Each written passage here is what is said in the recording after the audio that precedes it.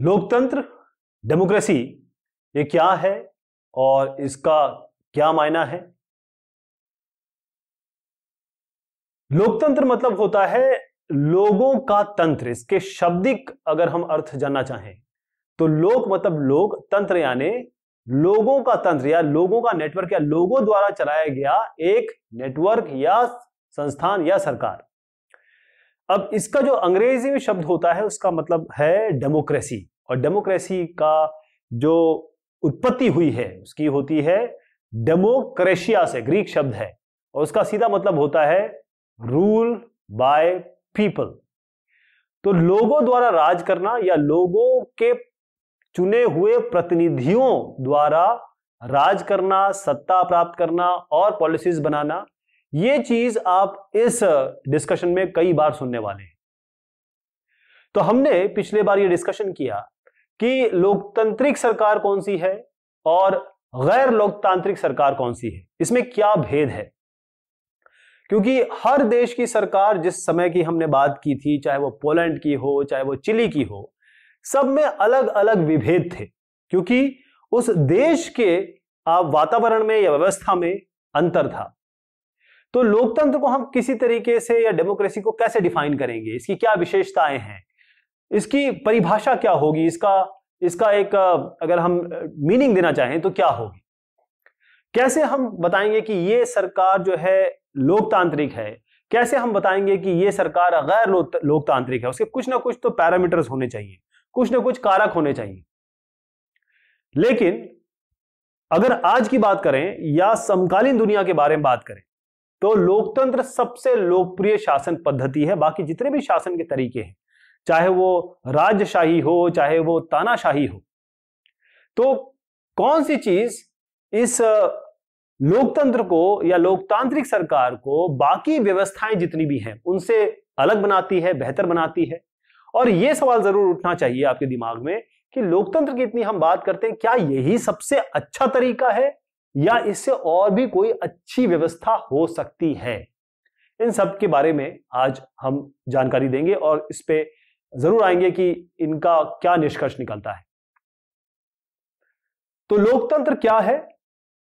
एक साधारण भाषा में हम कहें, जो मैंने कहा बार बार ये चीज़ आने वाली है, कि सरकार का एक ऐसा रूप है लोकतंत्र, जिसमें जो शासक होंगे, जनता के जो शासक होंगे, वो जनता खुद चुनती है। यानी अगर हम जनता हैं, आप और मैं जनता है, और हमारे पास शासक है, हम इनको खुद चुन रहे हैं। अगर हम खुद चुन रहे हैं, ये अपने आप नहीं आए, हम इनको चुन रहे हैं, वोटिंग के ज़रिए मत दे दे के इनको हम चुन रहे हैं तो ये लोकतंत्र में आ गए, लोग, अब जो ये सरकार बनाएँगे, वो लोकतांत्रिक सरकार होगी। यानी ये जो शासक हैं, ये हमारे आपके या कहें कि जनता द्वारा चुने जाते हैं। अब जो चुनाव होगा आप ऐसे नहीं कि एक ही साहब है और आप इनको वोट कर रहे हैं। अभी मैं चाइना का एग्ज़ाम्पल लेने वाला हूँ। एक ही साहब है, उनको आपने वोट कर दिया, नहीं, ऐसा नहीं। तीन चार साहब होंगे जो खड़े होंगे इलेक्शन में, आप इनको चूज़ कर सकते हैं और मैं इनको चूज़ कर सकता हूँ। यानी मैं इनको इलेक्ट कर सकता हूँ, आप इनको इलेक्ट कर सकते हैं। यानी कि जो चुनाव होंगे, चुनाव यानी किसी का, किसी को चुनना। चुनाव मतलब किसी एक को चुनना। तो स्वतंत्र होंगे चुनाव, यानी कि इंडिपेंडेंट होंगे और बिल्कुल प्रतिस्पर्धी होंगे, यानी कि ये ये जो तीनों है, ये एडी चोटी का ज़ोर लगाएँगे कि ये आपका वोट ले ले, मेरा वोट ले ले। एक और चीज़, कि चाहे आप किसी भी धर्म के हो, चाहे मैं किसी भी जाति का हूँ, चाहे मेरा कोई भी रंग हो, क्या, चाहे आपके पास धन ज़्यादा हो, यानी धर्म, शिक्षा, जाति, रंग, धन, इनके अंतर से कोई फ़र्क नहीं पड़ता। आप अगर व्यस्क हैं, जैसे हिंदुस्तान की बात करता हूँ मैं तो 18 के ऊपर अगर आप हैं आप 18 साल अटेन कर चुके हैं तो आपके पास एक मत देने का अधिकार है। यानी कि एक मत का आपका वोट देने का अधिकार है, आप चुन सकते हैं अपने शासक। हमारे पास संविधान है, इसके संविधान की भी एक बहुत बड़ी चर्चा होने वाली है। तो संविधान है, यानी कि कॉन्स्टिट्यूशन लिखा हुआ है, और कानून है कुछ। नागरिकों के कुछ अधिकार है, यानी कि संवैधानिक कानून और नागरिकों के जो अधिकार हैं, मेरे आपके अधिकार हैं जैसे freedom of speech freedom of expression ऐसे बहुत सारे, मैं आप किसी भी धर्म को फॉलो कर सकता हूँ, ऐसे बहुत सारे अधिकार हैं हमारे। तो ये जिन्होंने, जिनको आपने चुन लिया, मान लीजिए मैं मैं इनको रख लेता हूँ, ये ए है, ये बी है, ये सी है, और हमने बी को चुन लिया, अब ये साहब जो है, ये आप पे शासन करेंगे, या इनके साथ जो भी इनकी पार्टी बनती है। तो ये साहब जो है, ये जो भी काम करेंगे आपके लिए, उनका एक दायरा होगा, वो दायरा इतना होगा कि संवैधानिक, एक तो कानून या संविधान और आपके जो अधिकार हैं अ लिख देता हूँ उसके लिए, इनके अंदर ही ये काम करेंगे, यानी कि इसके बाहर नहीं जा सकते। एक तरीके से आपके जो अधिकार हैं, इनका संरक्षण इनका संरक्षण करना, संविधान का संरक्षण करना और संविधान के अंदर जो आपके अलग अलग अधिकार हैं, उनका संरक्षण करना, ये रिस्पॉन्सिबिलिटी होगी, ये ज़िम्मेदारी किसकी होगी, जिनको आपने चुन के भेजा है। मैं बताऊँगा कहाँ भेजते हैं आप, इनको आप चाहे तो संसद में भेज सकते हैं या फिर विधान परिषद में, विधानसभा में भेज सकते हैं। और अगर आप ग्रामीण लेवल पे लेके आए तो फिर ग्राम पंचायत होती है, कई जगह पे आप चुनाव करते हैं। हिंदुस्तान की बात कर रहा हूँ मैं, लेकिन हम पूरे ग्लोबल लेवल की बात कर रहे हैं। अब इसमें सबसे ज़रूरी बात है कि एक न्यायपालिका न्यायपालिका का क्या काम होता है? अगर आपके अधिकारों का हनन हो रहा है, आप दोनों के बीच में, मेरे आपके बीच में कुछ कॉन्फ्लिक्ट हो गया तो हम जाते हैं न्यायपालिका के पास। अब ये न्यायपालिका जो है वो स्वतंत्र होनी चाहिए। अगर ये सरकार के अधीन है तो मान लीजिए आपने वोट दिया इनको, मैंने नहीं दिया तो ये हो सकता है कि आपका फेवर करें। तो न्यायिक पालिका यानी कि जो जुडिशरी है, जो कानून का पालन करवाती है, या ये कहें कि आपके लिए डिसीज़न देती है कि क्या सही है, क्या गलत है। फौजदारी हो, चाहे वो आपका कोई भी, एक तरीके की आप समझ लीजिए कि कोई भी प्रॉब्लम हो दो राज्यों के बीच में या दो लोगों के बीच में तो उसका रेजोल्यूशन न्यायपालिका करती है तो न्यायपालिका स्वतंत्र होनी चाहिए यह बहुत ज़रूरी हो जाता है। तो परिभाषा की ज़रूरत क्यों है? इसमें एक डिस्कशन है। और डिस्कशन कुछ इस तरीके से है कि एक मेरी, ये बड़ी मेधावी छात्रा है। अब इन्होंने सवाल पूछना शुरू किया और लिंगदो मैडम ने जवाब देना शुरू किया कि ये कहती है मैरी कि आपने जो पिछला डिस्कशन था, उसमें इतने सारे हमें किस्से सुना दिए, इतनी सारी कहानियाँ सुना दी। लेकिन अभी तक लोकतंत्र का मतलब तो हमें समझ में नहीं आ रहा है, या ये कहिए लोकतंत्र का मतलब जानने की कोशिश हम क्यों कर रहे हैं? जो हमें लोकतंत्र की परिभाषा पहले गढ़नी थी, पहले पढ़नी थी, पहले समझनी थी, अब हम ऐसा क्यों कर रहे हैं? पहले हमको लोकतंत्र की परिभाषा समझनी चाहिए, फिर हम बाकी बात करेंगे। तो लिंगदो मैडम का बड़ा अच्छा जवाब था कि क्या आप ये, वो कहती है, मेरी तुम्हारी बातों में तो दम है, लेकिन एक कुछ सामान्य जीवन की उन्होंने एग्ज़ाम्पल दिया। कि जैसे बरसात है, बरसात तो बरसात होती है, प्रेम, मोहब्बत मोहब्बत तो मोहब्बत होती है, इनका, इनकी परिभाषा आप कैसे स्पष्ट करेंगे? लेकिन अगर कुछ चीज़ें चेंज होती है, जैसे परिभाषा इसकी कैसे चेंज होगी? तो मेरी फिर बोलती है कि अगर आप इनकी बरसात की या कलम की या प्रेम की परिभाषा नहीं देना चाहते या इनकी परिभाषा इतनी सरल नहीं है तो परिभाषा देनी ही क्यों है? तो मैडम कहती हैं कि देखो, जब बूंदाबांदी हो रही हो या बादल फट रहा हो या बर्फ़ गिर रही हो तब हमें बरसात का, तब हमारे पास बरसात की एक डेफिनेशन होनी चाहिए। बरसात की परिभाषा जब हम बता पाएँगे, तभी हम बता पाएँगे कि बूंदाबांदी, बादल फटने में क्या अंतर है। यानी कि अब यहाँ स्पष्ट परिभाषा की ज़रूरत होगी। इसीलिए जब हम बात करें लोकतंत्र की तो उसकी स्पष्ट परिभाषा की तब ज़रूरत पड़ेगी, जब हम गैर लोकतांत्रिक लोकतांत्रिक या अच्छा लोकतांत्रिक की बात करेंगे। तो रिबियांग भी बातचीत करते हैं कि मैंने अब्राहम लिंकन का एक वाक्य सुना, रिबियांग कहते हैं, कि बड़ा अच्छा एक कथन था कि अब्राहम लिंकन ने कहा था कि जो लोकतांत्रिक सरकार है, वो लोगों के लिए, लोगों की और लोगों के द्वारा चलने वाली शासन व्यवस्था ही लोकतंत्र है।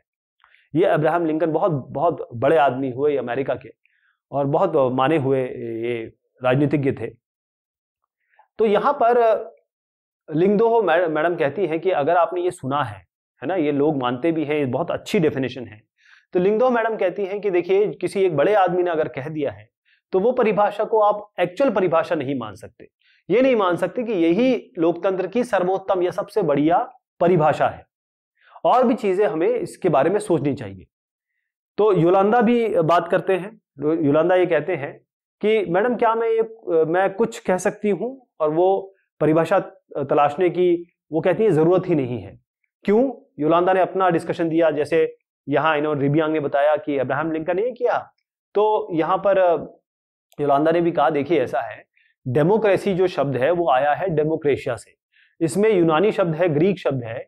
डेमोस का मतलब होता है लोग और क्रेशिया का मतलब है, होता है शासन, यानी लोगों का शासन। तो यहाँ पर तो हमें पूरी डेफिनेशन ही मिल गई ना, क्या ये सही है?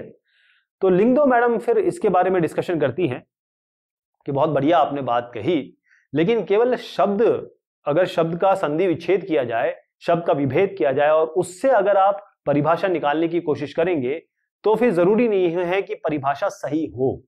आप ज़रूर शुरुआती शुरुआती दौर पे ये कह सकते हैं कि हाँ डेमोक्रेशिया मतलब लोगों का रूल। लेकिन उन्होंने एक एग्ज़ाम्पल दिया कि जो कंप्यूटर था, पहले कैलकुलेटर हुआ करता था, फिर कंप्यूटिंग मशीन बनी। आज कंप्यूटर में क्या है, आप आप सारे काम कर सकते हैं। कंप्यूटर जो कंप्यूटर में सारे काम कर सकते हैं, फिर उसके बाद एक मोबाइल आ गया। मोबाइल भी कंप्यूटर ही है छोटा। उसमें सारे काम कर सकते हैं। तो ये जो डेफिनेशन है, ये तरह तरह के व्यवस्थाओं के अनुसार या समय के अनुसार चेंज होती रहती है। तो ज़रूरी ये हो जाता है, मेरी फिर बाद में एंटर करती है इसमें, कि इसका मतलब ये है कि हम ये जो परिभाषा जानने की कोशिश कर रहे हैं, इसका कोई शॉर्टकट नहीं है। हमें ज़रूर इसके बारे में बड़ी गहराई से सोचना पड़ेगा, तब इसकी परिभाषा गढ़ी जा सकती है। किसकी परिभाषा? लोकतंत्र की। ये सारा जो डिस्कशन हुआ है, वो लोकतंत्र की परिभाषा पे हुआ है। तो लिंगो मैडम कहती है, बिल्कुल सही, चलिए, अब आगे बढ़ते हैं। वो ये कहती हैं, इस पर हम डिस्कशन करेंगे। तो एक सरल परिभाषा से यहाँ से शुरुआत करते हैं कि लोकतंत्र शासन का एक ऐसा रूप है, जिसमें शासकों का चुनाव लोग करते हैं। यहाँ से ये इससे ज़्यादा सरल परिभाषा लोकतंत्र की या डेमोक्रेसी की नहीं हो सकती कि लोकतंत्र शासन का एक ऐसा रूप होता है जिसमें जो शासन कर रहे होंगे, उनको चुनने का अधिकार या उनको, उनका चुनाव लोग करते हैं। तो चाहे आज की बात करें आपकी कोई भी सरकार हो, वो खुद को लोकतांत्रिक कहना या कहलाना चाहती है। कोई भी सरकार हो, किसी भी देश की सरकार हो। लेकिन अब आप देखें कि क्या वो वाकई में लोकतंत्र फॉलो कर रही है या केवल दिखावटी मामला चल रहा है? क्या केवल दिखावट तो नहीं हो रहा क्या? क्योंकि लोकतंत्र के जो प्रारूप हैं लोकतंत्र के जो सिद्धांत है क्या उसको फॉलो किया जा रहा है? तो हमें ये ज़रूरी है हम और आपको ये समझना कि लोकतंत्र को और गैर लोकतंत्र को या फिर लोकतंत्र बोलने वाले जो लोग हैं जो लोकतंत्र बोल के आपका राज कर रहे हैं क्या वो वाकई में लोकतंत्र है? इसके लिए क्या करेंगे? थोड़ा एग्ज़ाम्पल ले लेते हैं। कुछ एक ऐसा एग्ज़ाम्पल लेंगे। उस एग्ज़ाम्पल से आपको बिल्कुल समझ में आ जाएगा कि, कि हमने जो इतनी लंबी बात की, उसका निष्कर्ष क्या निकलेगा या उसको हम कैसे समझें? तो लोकतंत्र शासन का एक रूप है जिसमें जनता शासकों का चुनाव करती है, ये तो हम बार बार समझ चुके अच्छी तरह समझ चुके तो आप एक देखिएगा, कुछ देशों का एग्ज़ाम्पल लेते हैं और निर्वाचित जो नेता थे, बाकायदा जिनको इलेक्ट किया गया, लोगों ने उनको संसद भेजा या लोगों ने उनको चुनाव किया कि हम पे शासन कीजिए, हमारे लिए नीतियाँ पॉलिसियाँ बनाइए। तो निर्वाचित जो नेता थे लीडर्स थे, उन्होंने कैसे निर्णय लिए? पाकिस्तान की तरफ़ चलते हैं, हमारा बहुत करीबी पड़ोसी है। तो पाकिस्तान में जनरल साहब हुए परवेज मुशर्रफ साहब। इन्होंने अक्टूबर अक्टूबर 99 परवेज मुशर्रफ साहब की बात कर रहे हैं। 1999 में इन्होंने सेना, क्योंकि ये सेना के जनरल थे, इन्होंने तख्ता पलट कर दिया। जो इलेक्टेड सरकार थी, उसका तख्ता पलट कर दिया। और फिर जो निर्वाचित रूप से सरकार थी, लोकतांत्रिक रूप से बाकायदा, लोकतांत्रिक डेमोक्रेटिक रूप से जो निर्वाचित सरकार थी, उसको हटा दिया। और ये परवेज मुशर्रफ साहब, ये बन गए राष्ट्रपति। क्या बन गए? राष्ट्रपति बन गए ये, पाकिस्तान के। फिर 2002 में इन्होंने एक जनमत संग्रह कराया। और क्योंकि जन, जनमत संग्रह कराया, लेकिन इन्होंने बहुत सारी इसमें धोखाधड़ी कर दी। है ना? धोखाधड़ी करके इन्होंने क्या किया? अपने जो शासन है, उसको पाँच साल और बढ़ा दिए। इन्होंने एक और चीज़ की, जो कानून एक पारित किया बाकायदा और उसको कहा उन्होंने लीगल फ्रेमवर्क ऑर्डर। अब लीगल फ्रेमवर्क ऑर्डर क्योंकि राष्ट्रपति तो ये बनी चुके थे तो इनमें इन, इस जो कानून पारित हुआ इसमें राष्ट्रपति कभी भी जो राष्ट्रीय है यानी सेंट्रल और प्रांतीय है जो स्टेट इन विधानसभाओं को खारिज कर सकता है। यानी राष्ट्र के जैसे हमारे देश की बात करें तो हमारा जो राष्ट्रीय अगर लेवल पे देखें तो हमारी संसद है राज्यसभा और लोकसभा। इसी तरीके से अगर हम स्टेट पे आ जाएँ, जैसे अगर मान लीजिए आप एक कोई भी एग्ज़ाम्पल उत्तर प्रदेश की बात ले लीजिए तो विधानसभा है वहाँ पर। और उसके मुख्यमंत्री जो होते हैं, वो वहाँ के जो इलेक्टेड जो अपने लोग विधायक चुने हैं, वो इलेक्ट करते हैं। तो ये जो विधानसभा और मैं संसद की बात कर रहा हूँ तो जो पाकिस्तान में है, ये इन्हीं का जो जो भी नाम वहाँ पर होगा, उनको वो कभी भी खारिज कर सकते हैं। यानी कभी भी इन विधानसभाओं को, चाहे वो सेंट्रल लेवल पे हो, चाहे वो स्टेट लेवल पे हो, उनको कभी भी वो खत्म कर सकते हैं। तो अब राष्ट्रीय और प्रांतीय विधानसभाओं को खारिज करने का पावर आ गया किनके पास, परवेज मुशर्रफ के पास। तो हुआ यह कि पाकिस्तान में चुनाव उन्होंने बाकायदा कराए, निर्वाचित प्रतिनिधि बने मतलब बाकायदा इलेक्शन हुआ, ऐसा नहीं। लेकिन बात यह है कि जो लोग इन्होंने इलेक्ट करवाए या लोगों ने इलेक्ट किया, इनके पास पावर तो थी नहीं। क्योंकि अंतिम जो फैसला था, वो किसके पास था? वो तो जनरल मुशर्रफ, परवेज मुशर्रफ साहब के पास था। क्योंकि सारी सत्ता की चाबी या सारी सत्ता जो है, इनके हाथ में थी। तो क्या आप कह सकते हैं कि परवेज मुशर्रफ जो वहाँ के सैन्य जनरल थे, जो राष्ट्रपति बन गए, वो और उसके बाद जो इलेक्टेड नेता है, क्योंकि आप ये तो देख रहे हैं कि यहाँ पर इलेक्शन हुआ है बाकायदा और लोग यहाँ पर इलेक्ट हुए हैं, लेकिन फिर भी पावर किसके पास है? पावर तो परवेज मुशर्रफ के पास है। इसका मतलब ये, इसको आप जनतंत्र या लोकतंत्र तो कभी भी नहीं कह सकते। क्योंकि लोकतंत्र का मतलब ही ये होता है कि जो अंतिम निर्णय निर्णय लेने का या ये कहें लोगों को चुनने का और लोगों को चुन के जिनके पास, जिनको चुना है उनके पास अधिकार होना चाहिए ना। किसी एक आदमी के पास नहीं, क्योंकि परवेज मुशर्रफ को तो आपने इलेक्ट ही नहीं किया। उन्होंने तो सेना सेना तख्ता पलटी की और आ गए वो अपने पावर में। तो अगर लोगों के पास या लोगों द्वारा चुने गए लोगों के पास अंतिम पावर नहीं है डिसीज़न मेकिंग नहीं है तो फिर ये लोकतंत्र नहीं है। अब इसी का एग्ज़ाम्पल मैं आपको चाइना का देता हूँ। पहले ये समझ लीजिए, लोकतंत्र में अंतिम निर्णय लेने की शक्ति दोनों लोगों द्वारा चुने गए प्रतिनिधियों के पास ही होनी चाहिए। इसको बिल्कुल ये लोकतंत्र की जो हम परिभाषा गढ़ने की कोशिश कर रहे थे, जो लिंगदो मैडम और मेरी बात कर रही थी आपस में, उसका यही मतलब है कि भाई अगर इनके पास नहीं है तो ये एक परिभाषा आ गई इसका मतलब कि पावर किसके पास होनी चाहिए? लोगों के पास, वरना ये लोकतांत्रिक नहीं। लोकतंत्र या लोकतांत्रिक सरकार नहीं है। फिर हम आते हैं चाइना में। स्वतंत्र और निष्पक्ष चुनावी मुकाबला यहाँ पर कैसे होता है? देखिए चाइना की बात कर रहा हूँ। जो चाइना की संसद है उसको कहा जाता है कवागुओ कवागुओ रेमनिन दाइवियावो दाहुई। ये उनका जनसंसद है। जैसे हमारे यहाँ पार्लियामेंट होता है वैसे उनका राष्ट्रीय जनसंसद है। अब इस सं, ये संसद जब बनेगी तो ये देश का राष्ट्रपति चुन सकते हैं।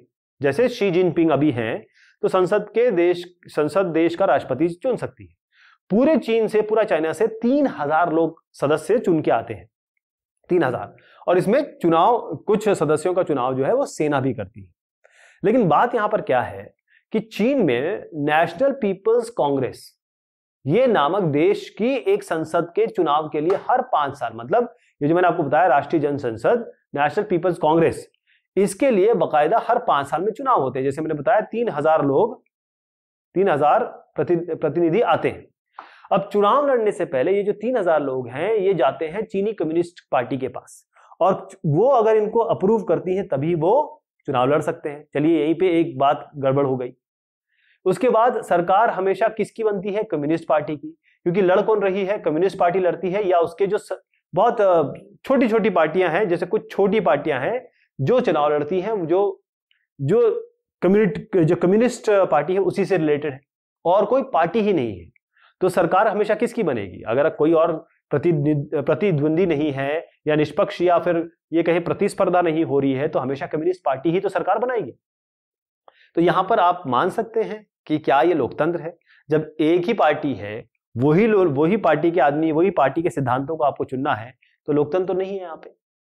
अब मैक्सिको की बात करता हूँ, यहाँ पर थोड़ा सा पेज अलग है, क्योंकि मैक्सिको में ऐसी चीज़ नहीं है। मैक्सिको में, जैसे मैक्सिको में एक पार्टी वन है, पार्टी टू है, पार्टी थ्री, ये सभी लड़ते हैं। मैक्सिको में प्रतिस्पर्धा होती है तो राष्ट्रपति का चुनाव मैक्सिको में हर छह साल में होता है। लेकिन 2000 सन 2000 में जो चुनाव हुआ, उसमें पीआरआई यानी कि संस्थागत क्रांतिकारी पार्टी इसको कहते हैं पीआरआई इसका जो अंग्रेज़ी में नाम है, इसको हम कहते हैं इंस्टीट्यूशनल रेवोल्यूशनरी पार्टी यानी कि institutional revolutionary party institutional revolutionary party उल्टा है वैसे तो ये चुनाव इन्होंने जीत लिया 2000 में। विपक्षी दल चुनाव लड़े, लेकिन वो कभी इस पे जीतने में पॉसिबल नहीं हो पाते। उसका कारण क्या है? हमेशा के हमेशा 2000 के बाद जब भी जीत होती है पीआरआई की ही होती है। तो ये चलते हैं चाल। पीआरआई चलती है चाल। पहले तो सरकारी दफ्तरों में काम करने वाले लोग जो है, वो पार्टी के बैठकों में आएँगे। पार्टी के बैठकों में उनका आना ज़रूरी है। और सरकारी स्कूल में अध्यापक, बकायदा छात्र छात्राओं के जो माँ बाप है, उनको बोलते हैं कि आपको किसको वोट देना है? पीआरआई को वोट देना है। तो माँ बाप बच्चों के कारण देना पड़ता है उनको। इसके अलावा जो मीडिया है, वो केवल विपक्षी दल जो है, जो पार्टी टू और पार्टी थ्री है, उनकी केवल कमियाँ ही दिखाती है।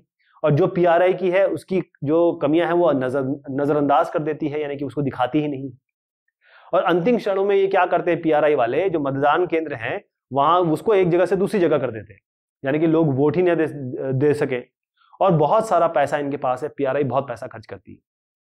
तो अब यहाँ पर देखिए यहाँ पर बकायदा प्रतिस्पर्धा हो रही है लेकिन हमेशा पीआरआई ही आती है क्योंकि वो धानलेबाजी करती है वो इन ये, ये सब चीज़ें अपनाती है ताकि वो जीत सके।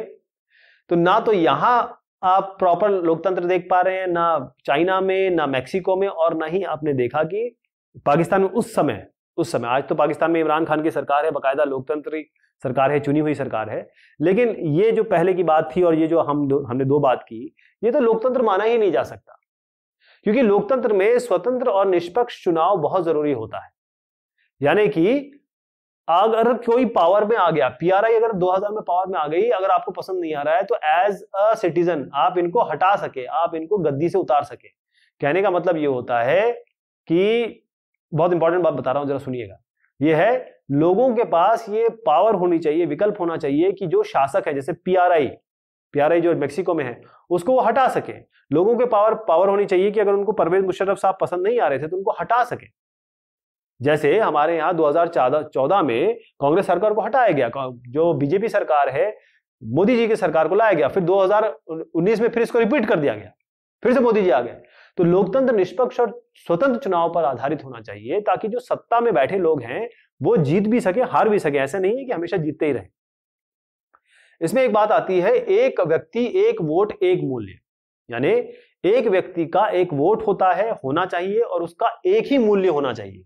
वो इसका भी एग्ज़ाम्पल लेंगे, कैसे? वोट देने के समान अधिकार से वंचित करने के हमें कई कई उदाहरण मिलते हैं। मैं हर अलग अलग देशों का आपका एग्ज़ाम्पल देता हूँ।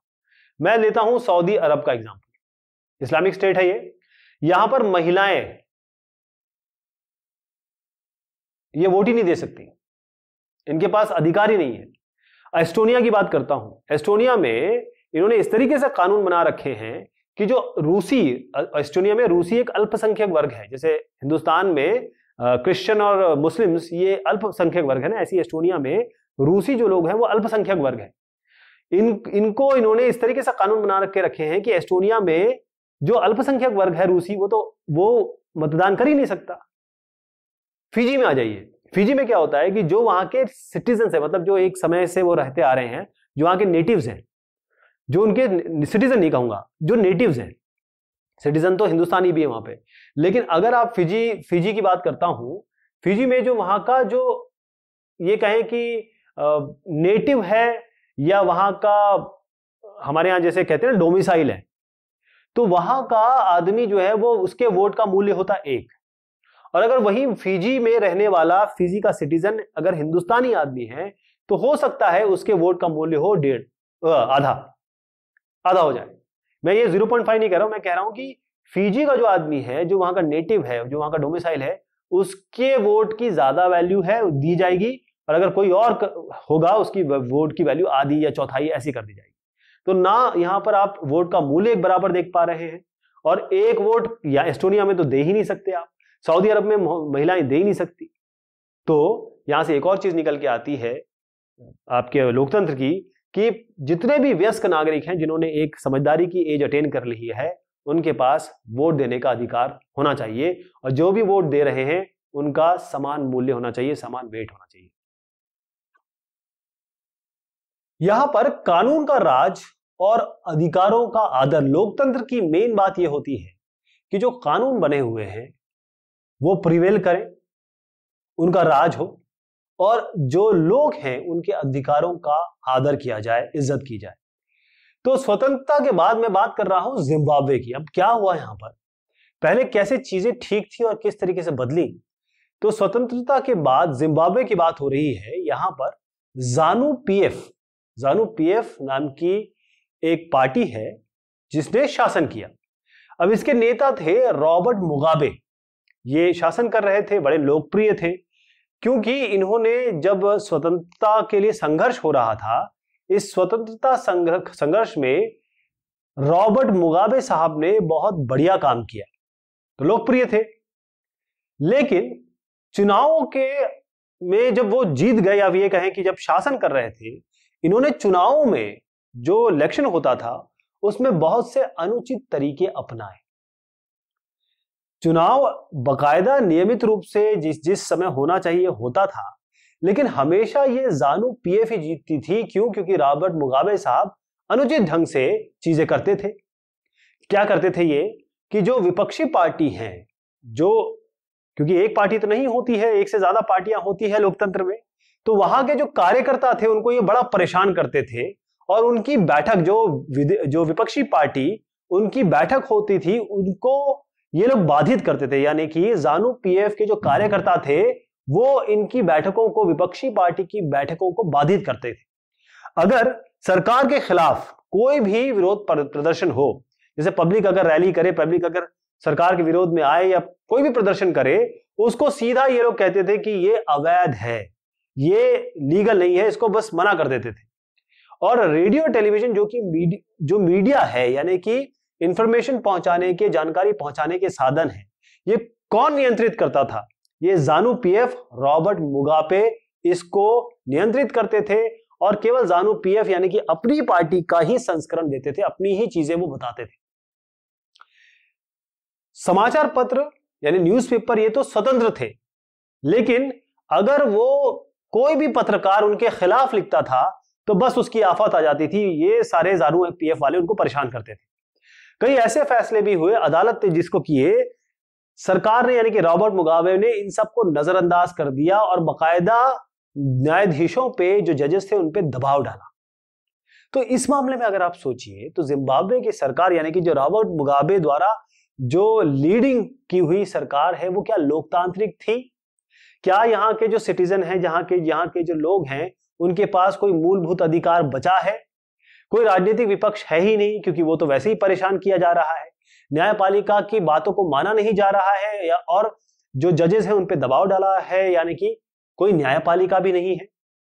यानी जो लोकतांत्रिक सरकार है वो तो है, लेकिन वो ना तो संवैधानिक कानून के अंतर्गत काम कर रही है, ना ना ही नागरिकों के अधिकारों को वो देख रही है, उसको एक एक तरीके से मदद कर रही है, या संरक्षित कर रही है। तो ये ध्यान रखिएगा कि संवैधानिक कानून और नागरिकों के अधिकारों द्वारा निर्धारित सीमाओं के भीतर ही एक लोकतांत्रिक सरकार का शासन होना चाहिए। ये हमें एक और बात, बात पता चली किसकी? लोकतंत्र की। तो कुछ जो बुनियादी अधिकार हैं उनका आदर होना चाहिए। जिसके भी चाहे कैसा भी आदमी हो कोई भी आदमी हो सबके बुनियादी अधिकार होते हैं उनका आदर होना चाहिए। और अगर कोई अपनी राय बनाता है सार्वजनिक रूप से वो आता है अपने विचार व्यक्त करता है जिसे हम फ्रीडम ऑफ़ एक्सप्रेशन कहते हैं। कोई संगठन बनाना चाहता है विरोध करना चाहता है जो राजनीतिक गतिविधियाँ हो रही हैं अगर उनको सही नहीं लगती तो उसके खिलाफ बोलना चाहता है तो उन, उनके लिए पूरी स्वतंत्रता होनी चाहिए। इसके अलावा कानून की नज़र में सभी समान होने चाहिए। यानी कि एक न्यायपालिका ऐसी हो जो स्वतंत्र हो। बिल्कुल ना तो वो सरकार के अंडर में आती हो ना किसी के अंडर में आती हो न्यायपालिका बिल्कुल स्वतंत्र होनी चाहिए। तो एक लोकतांत्रिक सरकार सिर्फ़ उस कारण से मनमानी नहीं कर सकती है, जैसे जानू पीएफ का आपने देखा, रॉबर्ट मुगाबे साहब का देखा, कि अगर वो चुनाव जीत गए तो इसका मतलब ये नहीं है कि चुनाव जीत गए तो वो अपनी मनमानी कर सकते हैं। वो उनको पूरा ख्याल रखना पड़ेगा, सबसे बात करनी पड़ेगी और लोगों का ख्याल रखना पड़ेगा, उनके हिसाब से चीज़ें करनी पड़ेगी। ये लोकतंत्र की सबसे बड़ी विशेषता है। इसमें आपको एक और चीज़ मैं बताना चाहूँगा, वो ये है कि एक लोकतांत्रिक सरकार, दोबारा मैं रिपीट कर रहा हूँ, एक लोकतांत्रिक सरकार संवैधानिक कानूनों और नागरिक अधिकारों द्वारा जो खींची हुई लक्ष्मण रेखा है, उसको लांग नहीं सकती, उसके भीतर ही काम करेगी। यानी कि जो कानून बने हुए संविधान, जो कॉन्स्टिट्यूशन या कोई भी कानून जो बने, बनाए गए हैं देश के, उसके उसके खिलाफ नहीं जाएगी, उसके आगे नहीं जाएगी, और नागरिकों के अधिकार सबसे ज़रूरी है। तो फिर से एक बात आ जाती है, हम वहीं से शुरुआत करते हैं ज़ीरो से कि लोकतांत्रिक सरकार का एक ऐसा रूप है या लोकतंत्र सरकार का एक ऐसा रूप है जिसमें शासकों का चुनाव हम लोग करते हैं, यानी कि लोग करते हैं। तो क्या यह परिभाषा पर्याप्त हो रही है? हमने देखा, कई एग्ज़ाम्पल लेके हमने देखा क्या हो रहा है और कैसा होना चाहिए। एक लोकतांत्रिक सरकार में क्या होना चाहिए, यहीं से हम निकालते चले जा रहे हैं कि परिभाषा क्या होनी चाहिए।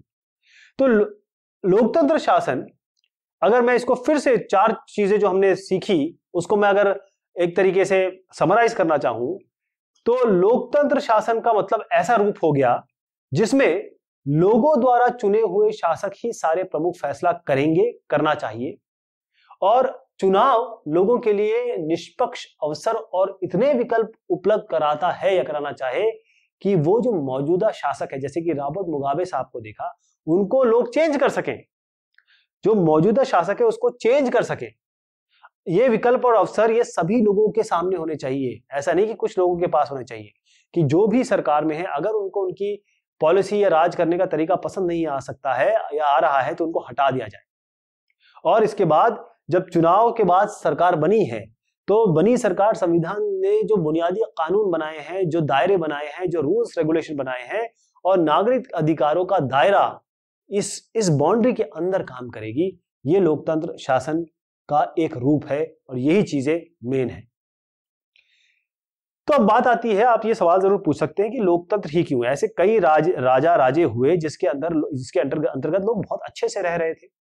तो लोकतंत्र के गुण क्या है? लोकतंत्र के खिलाफत क्या है या उसके ड्रॉबैक्स क्या है? तो लोकतंत्र क्यों है या लोकतंत्र के खिलाफ अगर हम तर्क देना चाहें तो सबसे पहली चीज़ आती है कि लोकतंत्र में नेता बदलते रहते हैं। आज कोई, कल कोई। ये नेता बदलते रहते हैं। तो इसके लिए लोग कहते हैं, या लोकतंत्र के खिलाफ अगर लोकतंत्र के मैं ड्रॉबैक्स बता रहा हूँ, उसकी जो कमियाँ हैं आपको बता रहा हूँ कि अगर नेता है, वो चेंज होते रहते हैं। कल मनमोहन सिंह थे, आज आज मोदी जी आ गए, कल को कोई और आ जाएगा। तो यहाँ पर अस्थिरता होती है। लोग ऐसा कहते हैं, लोकतंत्र के खिलाफ ये बात होती है। लोकतंत्र का लोकतंत्र का मतलब सिर्फ़ राजनीतिक लड़ाई या सत्ता का खेल है। लोग आपस में एक पार्टी, बीजेपी, कांग्रेस आपस में लड़ रहे हैं। यानी कि लोग ये कहते हैं कि यहाँ पर केवल सत्ता की लड़ाई चल रही है। नैतिकता की कोई जगह नहीं है। कोई भी किसी भी हद तक जा सकता है चुनाव जीतने के लिए या सत्ता बनाने के लिए। एक चीज़ यह है कि लोकतंत्र में क्या होता है कि सबकी बात सुननी पड़ेगी आपको, है ना? सरकार की बात सुननी पड़ेगी। जो रिप्रेजेंटेटिव है अलग अलग ट्रेड यूनियंस है अलग अलग संगठन बने हुए हैं सिविल सोसाइटी है, सबकी बात सुननी पड़ेगी। तो यहाँ पर लोग लोगों का ये कहना है, जो लोकतंत्र के खिलाफ बोलते हैं, कि इतने सारे लोगों से बहस और चर्चा करनी पड़ती है, ये तो फैसले में बहुत देरी हो जाएगी। यानी कि कोई भी rules delayed is rule denied कोई भी चीज़ इतनी चर्चा, बहस इतने सारे लोगों से करेंगे तो फैसला कब होगा? कई लोग ये भी कहते हैं कि जो नेता अपने चुने हुए हैं उनको लोगों के बारे में पता ही नहीं है। तो इसके इसके लिए क्या होता है कि वो खराब फैसले ले लेते हैं। या खराब फैसले लेते हैं क्योंकि उनको नॉर्मल पब्लिक के बारे में पता ही नहीं है।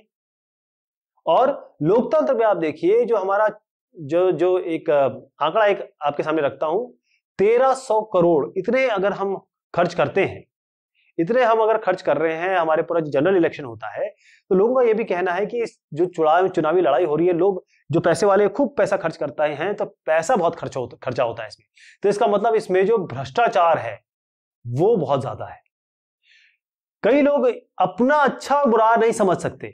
कई लोग, जैसे मैं और आप अगर हो गए, एक एग्ज़ाम्पल ले रहा हूँ तो अगर हम अपना बुरा भला नहीं समझ सकते तो हम अपनी ये सरकार कैसे चुनेंगे? कई लोग ऐसा बोलते हैं, ये लोकतंत्र के खिलाफ तर्क हैं। लोकतंत्र के अगेंस्ट जो लोग बोलते हैं, या ये भी हमको समझना चाहिए कि लोकतंत्र में ये ये कमियाँ हैं। लेकिन यहीं पर आप देखें कि लोकतंत्र में, के पक्ष में क्या तर्क दिए जा सकते हैं। इस पक्ष में आने से पहले मैं आपको एक जरा वाक्य सुनाता हूँ। क्या हुआ कि चीन में, चाइना में 1958 से 61 तक भयंकर अकाल पड़ा। बहुत बड़ा बड़ा बड़ा अकाल पड़ा। इसमें तीन करोड़ लोग, तीन करोड़ लोग भूख से मर गए। अब चीन में क्या था? कम्युनिस्ट सरकार है, एक ही पार्टी है। कोई उनके खिलाफ बोल नहीं सकता, कोई न्यूज़पेपर में दे नहीं सकता। कोई ऐसी बात उनके मतलब ये समझिए, स्वतंत्र मीडिया नहीं है। उन्हीं दिनों भारत की जो आर्थिक स्थिति थी, वो चाइना से कोई ज़्यादा अच्छी नहीं थी। लेकिन हमारे देश में कभी भी भुखमरी की स्थिति नहीं आई। अर्थशास्त्रियों का मानना ऐसा है कि जब हमारा देश है, हमारा देश क्योंकि लोकतांत्रिक सरकार है उस कारण से हमने खाद्य सुरक्षा फ़ूड सिक्योरिटी इस पे बहुत अच्छा काम किया। लोगों के पास भोजन पहुँचे, जो हाशिए पे खड़े लोग हैं या लाइन में लास्ट में खड़े हैं, उन तक को हमने भोजन पहुँचाया। इस कारण से हमारे पास ऐसी सिचुएशन नहीं आई।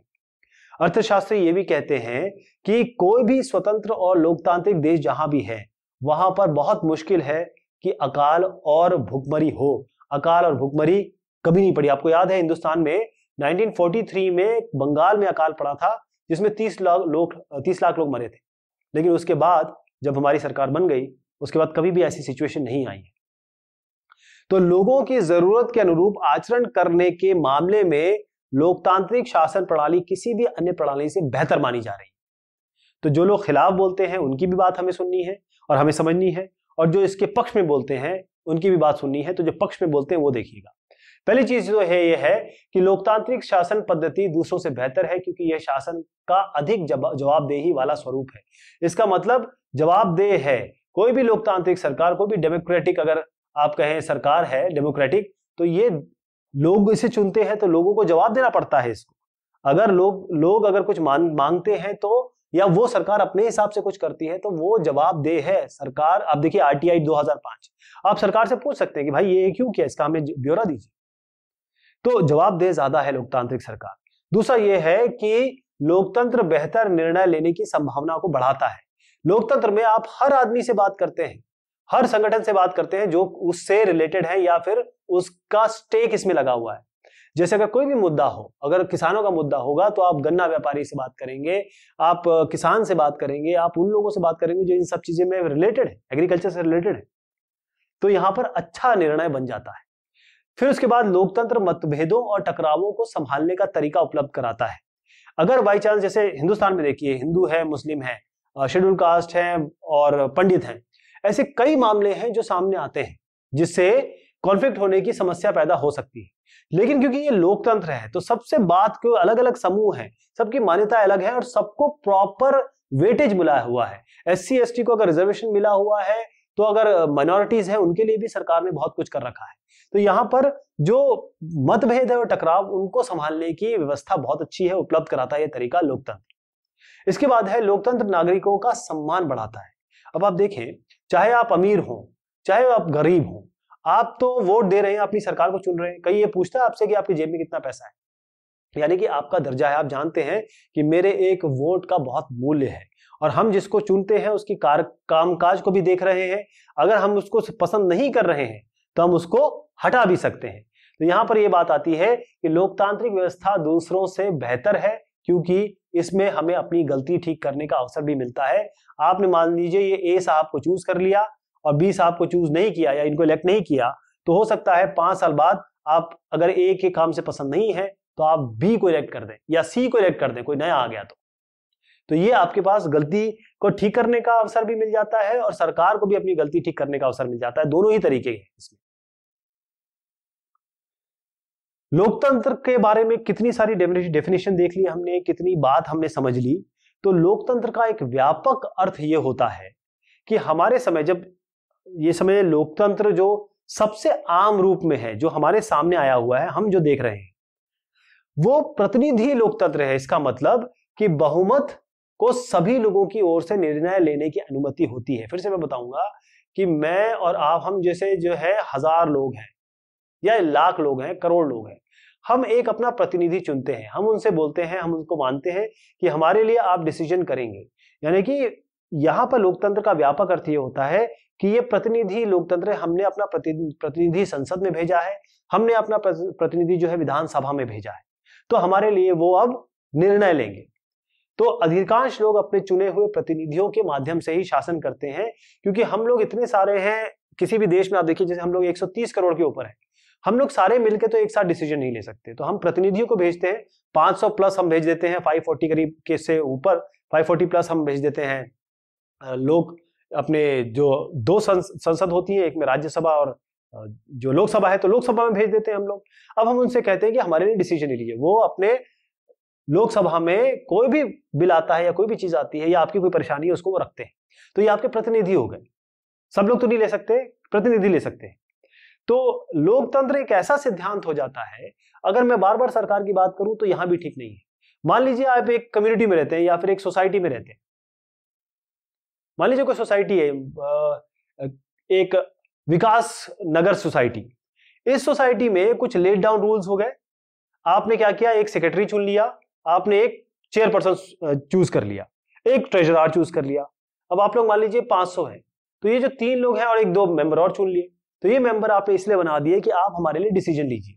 तो लोकतंत्र एक सिद्धांत है जो कहीं भी लागू हो सकता है। तो लोकतंत्र सरकार या परिवार या किसी अन्य संगठन पर भी लागू हो सकता है, जैसे मैंने आपको एक सोसाइटी बताई। लोकतंत्र एक सिद्धांत है बेसिकली कहीं भी आप लगा सकते हैं इसको। कहीं भी ये अप्लाई हो सकता है। तो इन कथनों को मैं जरा बताना चाहूँगा आपको, इससे कुछ और समझ में आएगी हमें चीज़ें कि हम, मैंने जैसे कहा, हर जगह लोकतंत्र हम किसी भी संगठन में किसी जगह लगा सकते हैं। तो तीन चीज़ें मैं आपको बताऊँगा, समझने की कोशिश करिए कहाँ लोकतंत्र है, कहाँ नहीं है। हम लोगों का परिवार, एक साहब बोलते हैं, हम लोगों का परिवार काफ़ी लोकतांत्रिक है, जब भी फैसला होता है, हम सब बैठ के सहमति करते हैं फैसले में जो मेरा विचार है, यानी कि अगर कोई आदमी जो बता रहा है ये, उसके विचारों का भी महत्व होता है जितना मेरे पिताजी का। अब ये बड़ा लोकतांत्रिक तरीका है, सही तरीका है। सब लोग मिल बैठ के बात करते हैं और उसमें हर आदमी का मत रखा जाता है, हर आदमी की बात सुनी जाती है। तो ये प्रॉपर लोकतंत्र है। एक और बात बताता हूँ, मुझे वे शिक्षक नापसंद हैं, जो कक्षा में छात्रों को बोलने और सवाल पूछने की इजाज़त नहीं देते। मैं तो ऐसा शिक्षक पसंद करूँगी या करूँगा जो लोकतांत्रिक मानसिकता का हो। अब क्लास में बहुत सारे बच्चे हैं। अब आप अगर टीचर को देखें, अगर वो मना करता है कि नहीं, आप सवाल नहीं पूछ सकते, तुम चुप बैठो या ये नहीं करो तो ये जो शिक्षक है, ये लोकतांत्रिक नहीं है, यानी कि इसके मानसिकता लोकतांत्रिक इसलिए नहीं है क्योंकि ये सबको बराबर का मौका नहीं देता। ये जिनको पसंद करता है, उन्हीं को मौका दे रहा है, जिनको नापसंद करता है, उनको मौका नहीं दे रहा है। तो यहाँ लोकतंत्र नहीं दिख रहा आपको। ऐसे ही एक नेता और उसके परिवार के लोग इस पार्टी के सारे फैसले करते हैं, वे क्या लोकतंत्र की बात करेंगे? यानी कि जो फैसला हो रहा है, या तो एक पार्टी कर रही है, या पार्टी के गिने चुने लोग। बाकी लोगों की बात नहीं सुनी जा रही। बाकी लोगों की बात की मान्यता ही नहीं है, उनको सुने ही नहीं जा रहा है। तो यहाँ लोकतंत्र नहीं है। कई बार हम लोकतंत्र शब्द का प्रयोग किसी मौजूदा सरकार के लिए नहीं करके आदर्शों के लिए करते हैं तो हमेशा लोकतंत्र का मतलब ये मत समझिए कि ये केवल सरकार पे लागू होता है। लोकतंत्र जो है, एक बहुत बेहतर शब्द है, बृहद शब्द है, ये शब्द के लिए, शब्द के लिए यूज़ होता है, चाहे वो कोई भी जगह हो, जहाँ पर ये सारे रूल्स एंड रेगुलेशन जो हमने पूरे डिस्कशन में देख लिए, वो फॉलो हो रहे हैं, किए जा रहे हैं, वो लोकतंत्र हो जाता है। तो इस देश में कुछ पाने का प्रयास सभी लोकतंत्र शासक करते हैं। किसी भी लोकतंत्र देश को या फिर कहें डेमोक्रेसी को कुछ करना चाहिए, ये कि इस देश में वास्तविक लोकतंत्र तभी आएगा जब किसी को भी भूखे पेट सोने की ज़रूरत नहीं रहेगी। अगर आप किसी और की चीज़ की बात करेंगे, मंदिर, मस्जिद, क्रिश्चियन आप कहें गिरजाघर की बात कर रहे हैं या किसी और चीज़ की बात करें, उससे क्या फ़ायदा होगा? जो आपने जिनके वोट से सरकार बनाई है या फिर आप बने हैं तो आपका मेन काम है कि कोई भी भूखा ना सोए, ये सबसे ज़रूरी है। इसके अलावा लोकतंत्र में जितने भी नागरिक हैं, उन सबको समान भूमिका मिलनी चाहिए। यानी जी, वोट का समान अधिकार सबको मिलना चाहिए। और इसके अलावा, केवल यहाँ तक नहीं होता कि वोट आपने दे दिया और आप चले गए। ना, इसके अलावा आपकी, ये कहिए, सूचना आपको सारी मिले, सरकार क्या कर रही है? आपको शिक्षा मिले, बुनियादी शिक्षा मिले सबको सबको बुनियादी संसाधन मिले, यानी सारे रिसोर्सेज बुनियादी मिले और अच्छी हेल्थ मिले और पक्की निष्ठा होनी चाहिए। यानी कि ये समझ लीजिए कि जो केवल वोट देना नहीं होता है। एक लोकतांत्रिक सरकार आपके लिए, एक सिटीजन के लिए वो सारा काम करे जो कि बेसिक होता है, मूलभूत आवश्यकता होती है किसी तो इसका मतलब ये हम समझ रहे हैं कि इतनी सारी जगह हमने बात कर ली लोकतंत्र आदर्श तो कहीं भी नहीं है।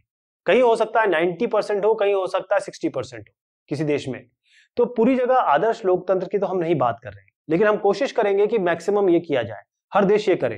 तो देश का भविष्य शासकों को जो हम चुनते हैं, उनके कामकाज पे तो निर्भर करता ही करता है। बल्कि मेरे और आप पे भी तो करता है, यानी कि हमारे उनसे ज़्यादा नागरिकों पे निर्भर करता है। तो जितनी भी गैर लोकतांत्रिक सरकार है, वो तो कभी नहीं चाहती कि लोग राजनीति में आए या राजनीति में हिस्सा लें। लेकिन लोकतांत्रिक व्यवस्था एक ऐसी होती है जहाँ पर मेरी और आपकी ज़िम्मेदारी होती है या फिर भागीदारी होती है कि जितनी ज़्यादा हम ज़िम्मेदारी निभाएँ, जितनी ज़्यादा हम भागीदारी निभाएँ, उतनी अच्छी सरकार चलेगी।